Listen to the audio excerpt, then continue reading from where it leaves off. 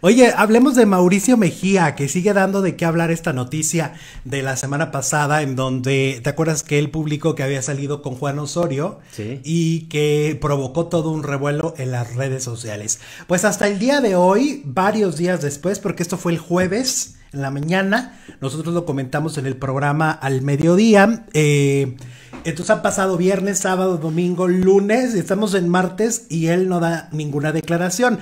A Juan Osorio y a Mane de la Parra los tundieron por esa parodia gay que hicieron sobre la pregunta de si había salido o no del closet, ¿no?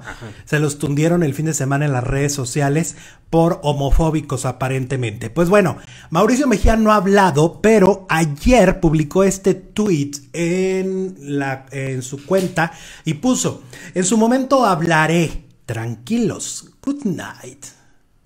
Ok, dijo esto. Bueno. O sea que ya tiene pensado una respuesta a todo este... Este mensaje lo borró. Ah, bueno. O sea, le hicimos captura, pero luego lo borró. Como borró el otro, ¿no?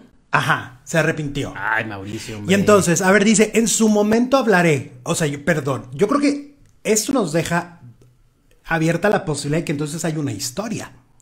Sí existe una historia detrás de este tema, ¿no? Claro, porque si hubiera sido una broma diría, ay, pues saben que la regué, discúlpenme. Era bromi, era, Era bromi, ya, borrón Sí. y cuenta nueva, punto, se En acabó. cambio, en su momento hablaré como que deja la duda de que... Ajá, la- tranquilos, les dice. Bueno, pues la gente le, le empezó a escribir y yo creo que por eso los borró. Porque le pusieron, te enojaste cuando te Benotas te sacó del closet, pero tú haces lo, tú así lo haces con otros. La es lo que doble, comentamos aquí, ¿no? la doble moral le escribieron en las redes. Entonces quiere decir que tal vez esta reacción a su tweet fue la que provocó que dijo mejor lo borro, mejor me echo para atrás. Este, y entonces, pues sigue ahí la duda razonable. Eh, a raíz de que nosotros lo comentamos, eh, pues yo he visto todavía eh, hace unas horas otras páginas se dieron cuenta de la información.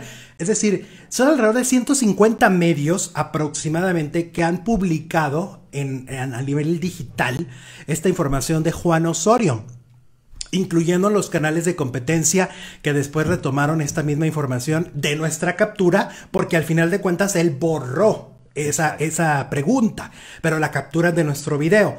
Entonces, em, pues la historia sigue ahí, sigue, sigue presente, porque como lo dijimos ayer, el asunto, el, punto importante no es tanto su sexualidad de Juan o no. Eso verdaderamente. Lo que pasa es que la pregunta tenía, tenía una cuestión profesional, ¿no? Era, ¿saliste con un productor para que te dieran una telenovela? Y él dijo, sí, con el ex de Niurka. Así tal cual, ¿no? Sí. ¿Qué tal? Dice profesor? Silvia Co, saludos desde Orizaba, Veracruz. Me gustan mucho sus directos. Gracias, Silvia. Gracias. Esmeralda Ahumada también nos saluda. Saluditos, Esmeralda. Irma Armenta dice: ¿Por qué nunca me leen tanto que los quiero? A ver, si- ahí, ahí va su like. Muchas gracias, Irma.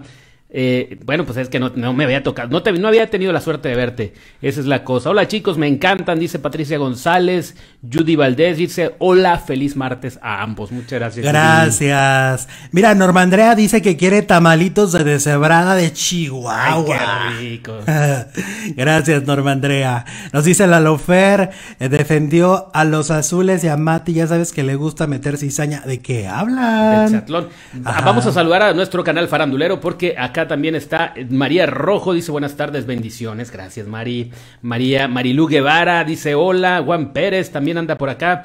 Desde Nuevo Laredo, claro, Daniel Esteban nos saluda desde Monterrey, Heidi Brindis, Isabel Vargas, Luigi Alameda, Rita Morales, Ángeles eh, Pérez, Claudia de Magada, Sandra Rojas, le encanta este programa, muchas gracias Sandra, María Isabel, buenas tardes otra vez, y también Alma Rosales, Guadalupe Robledo, en fin, vamos a seguir saludando en el transcurso del programa. Gracias. Oye, ayer me dio mucha risa porque estaba hablando con un buen amigo y me dijo que, que, ¿Qué, qué?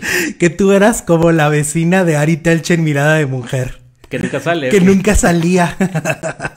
y le Como digo, Lucía Méndez en Esposos Desesperados. que nada Y le digo, ay, bueno, pues le digo un día le voy a pedir un pancito o el periódico como le pedí a la, a la vecina, Y ¿no? nunca salió la vecina, ¿verdad? No se nos murió y nunca salió. ¿Se murió? Se murió. caray. Acuérdate que un día ya, ya no tocaba peta ni mandaba nada y órale que estaba muerta la señora. ¿Y quién la encontró? Ari. Pues Ari. ¿Y de qué murió?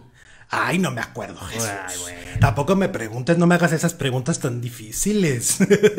Bueno, pues Pues, ¿cómo ves? Bueno, no, espera.